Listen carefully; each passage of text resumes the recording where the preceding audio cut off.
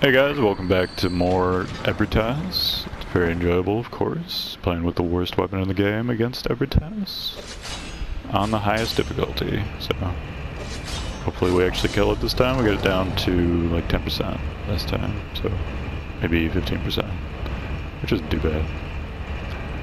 Uh, I would have been happy with that, and then I could have moved on and, and made more videos, but apparently not. Uh, I don't think there's a threshold where I will just give up. I'll, I'll beat it eventually, but I'm definitely going to stop talking at some point.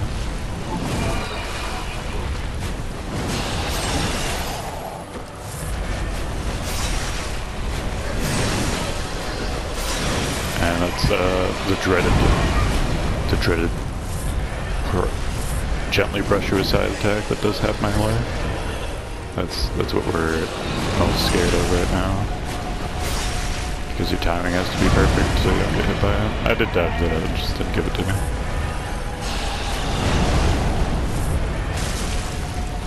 And you see my attack only did 243.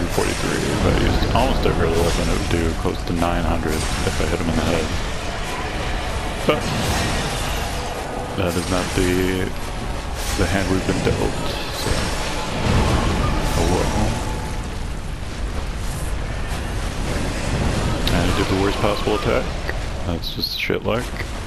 Uh, the big problem with this fight in general, and the reason why everybody hates it, is just because he can charge when you're at point blank. If he if he could only charge when you're way back here or whatever, I don't think anyone would care. But but since he can charge when you're right next to him, and it has just um, a hitbox that takes up half the room, then that's why nobody likes dealing with that shit, because it's just nonsense.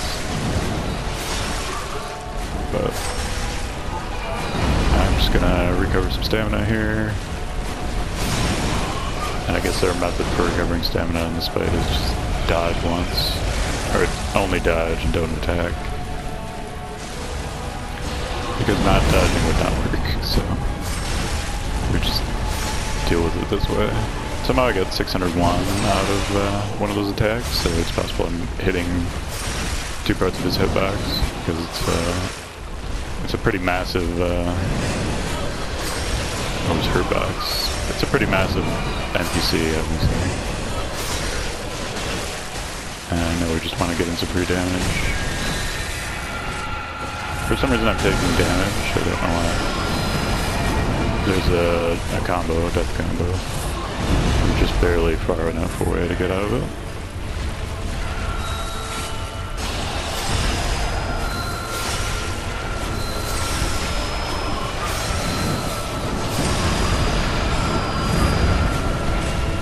And we're, we're doing a good again, so I think the boss will eventually go down. It's just a matter of. I don't know. Does that seem like it should have killed you? I don't know.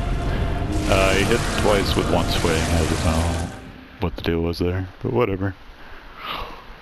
At some point, you just stop caring.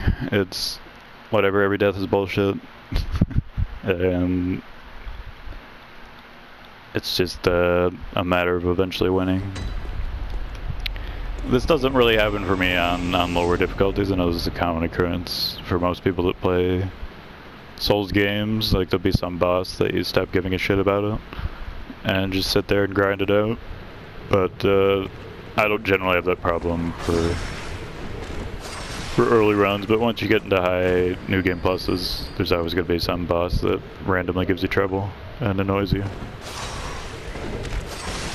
And for me, it's Ebrietas and with the Blade of Mercy. Um,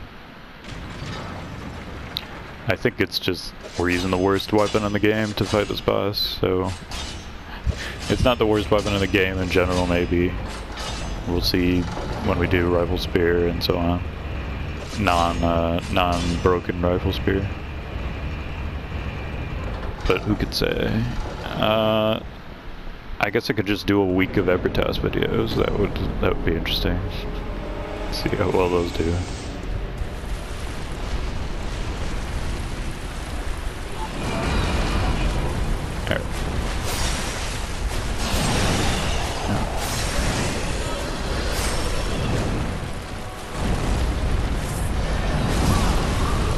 Oh, one shot.